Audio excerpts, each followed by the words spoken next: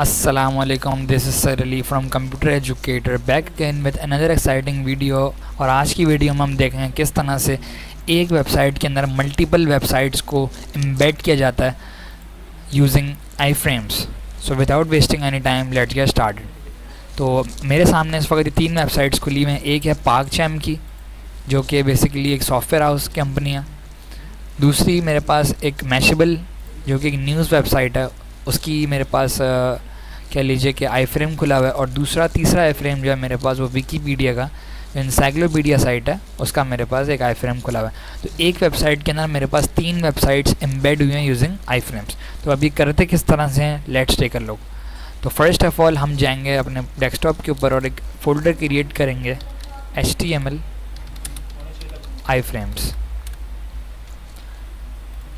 इसके अंदर हम अपना कोड एडिटर को ओपन कर लेंगे using code dot command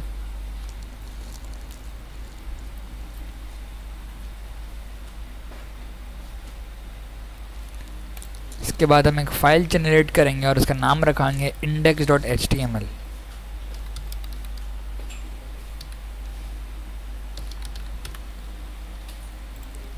shift one से बेसिक बॉयलर प्लेट को लोड कर लेंगे।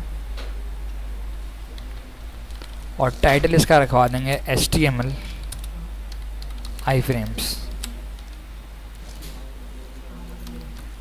iframe का टैग देंगे और उसके अंदर हम सोर्स को डिफ़ाइन करेंगे। सोर्स बेसिकली हमारी वेबसाइट का यूआरएल होता है, जैसा कि आपने देखा। यहाँ पे मैंने पाक चैम की वेबसाइट को लॉगिन किया हुआ तो मैं यहाँ पे लिखूँगा पाक चैम और इस तरह से इस पर क्लिक करके मुझे इसका यूआरएल मिल जाएगा। यहाँ से मैं इसका यूआरएल को कॉपी करूँगा और इसको यहाँ पे इस तरह से एम्बेड कर दूँगा सोर्स के अंदर। सोर्स में बेसिकली मेरे वेबसाइट का यूआरएल आता है।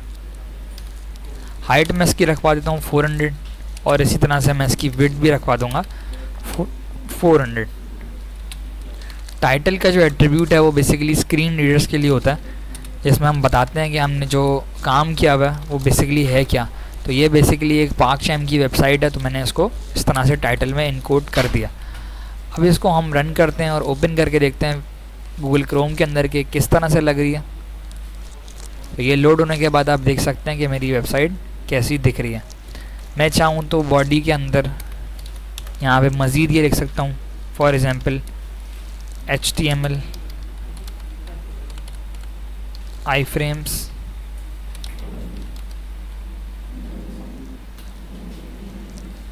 और साथ में ये भी लिख सकता हूँ। You can use the height and width attributes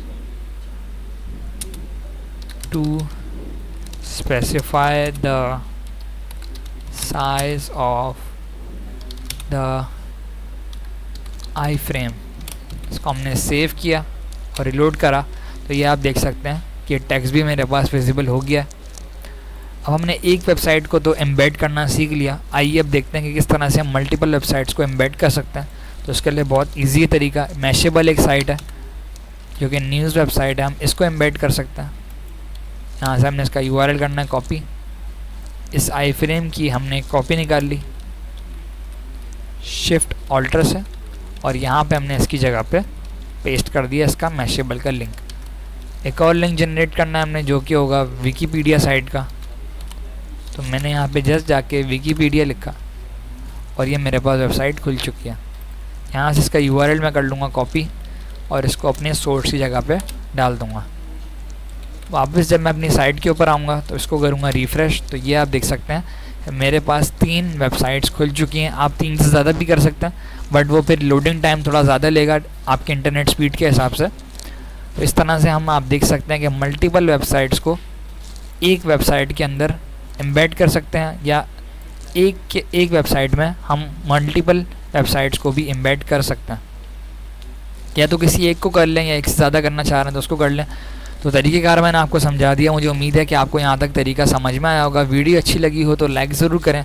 comment section में अपनी राय का इजहार करना मत भूलें।